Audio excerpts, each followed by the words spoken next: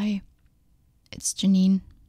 And if you've been listening to this podcast for some time, then you are quite aware that I challenge you with a ton of things more presence, a stricter routine, pursuing your dreams, being nice to others, not worrying, and so on. It may seem like a lot, especially if you're really motivated and you want to improve in all areas of your life. Maybe you even feel a little pressured, which I hope is not the case. The desire to find purpose and meaning is a good quest. It comes from the heart. It's not meant to bog you down or to burden you or to make you feel inadequate. It's meant to bring you joy. The more you learn and discover about yourself, the richer your life will become.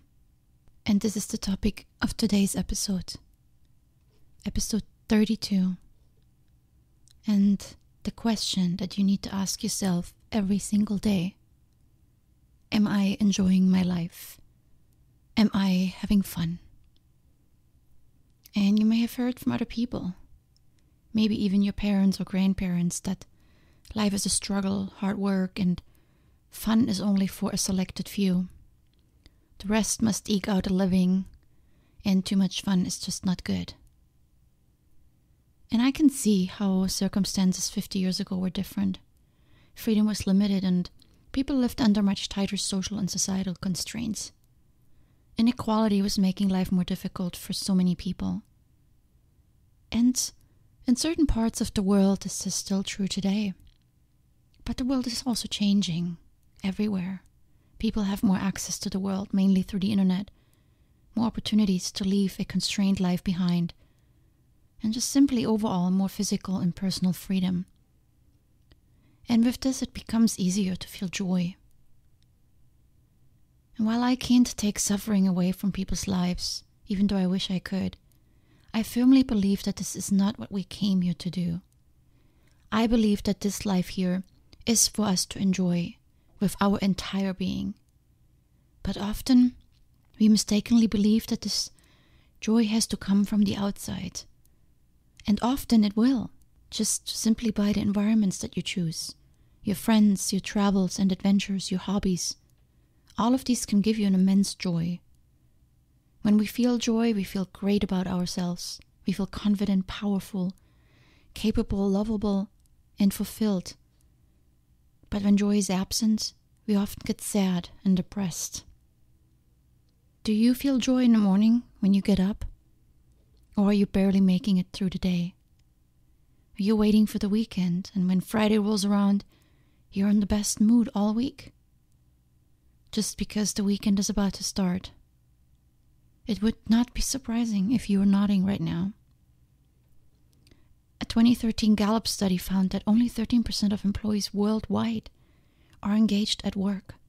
In other words, about one in eight workers, roughly 180 million employees in the country studied, are psychologically committed to their jobs and likely to be making positive contributions to their organizations. This means that the bulk of employees worldwide, 63%, are not engaged, meaning they lack motivation and they are less likely to invest effort into the organization's goals and outcomes. And 24% are actively disengaged, indicating they are unhappy and unproductive at work and liable to spread negative negativity to coworkers. In rough numbers, this translates into 900 million people not engaged and 340 million actively disengaged workers around the globe. I think this is wild. I mean, really? That would mean that the majority of people I pass on the freeway every morning on my way to work are miserable.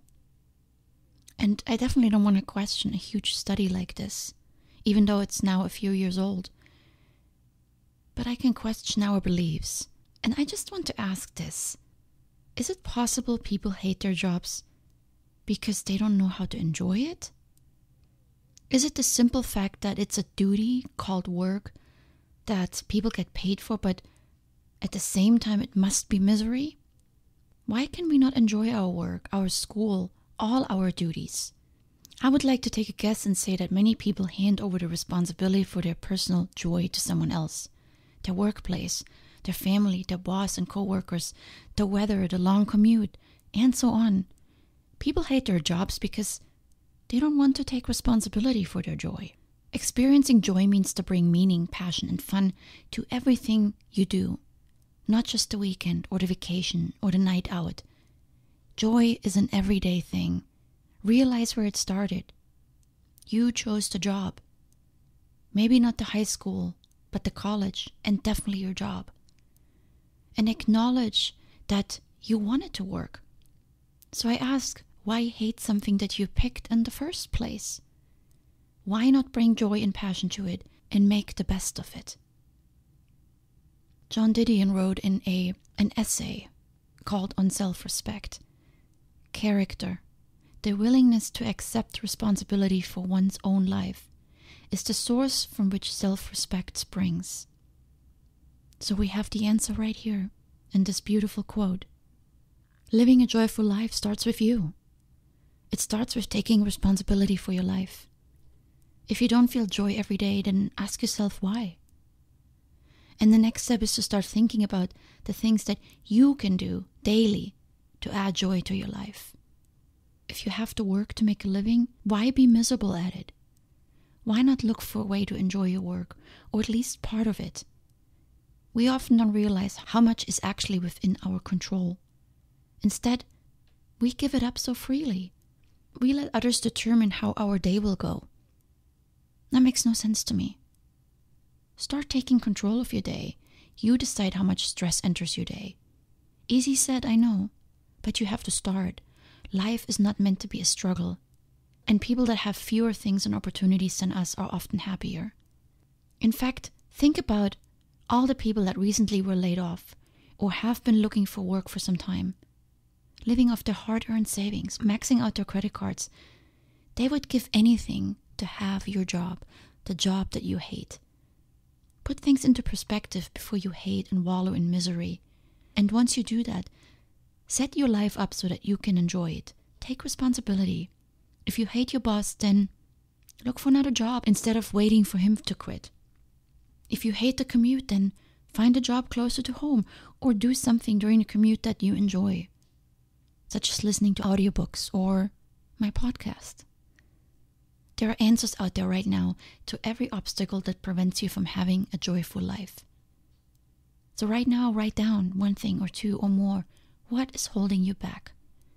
And then start digging. After you wrote it down, ask yourself, what can I do about this? Those are the three famous options that I'm sure you've heard before. You change the situation, or you accept it, or you leave it. There's a quote by um, Eckhart Tolle that goes like this When you complain, you make yourself a victim. Leave the situation, change the situation, or accept it. All else is madness. And it truly is. It is madness. You're responsible for the joy in your life, not your boss or your coworkers or the weather or how light the traffic is. You are responsible, and that's what you should ask yourself every day. How can I bring joy to my life? This moment, this day, is every moment, is every day. So ask yourself, what is your next action to bring more joy into your life? Until next time, much love. Signing off.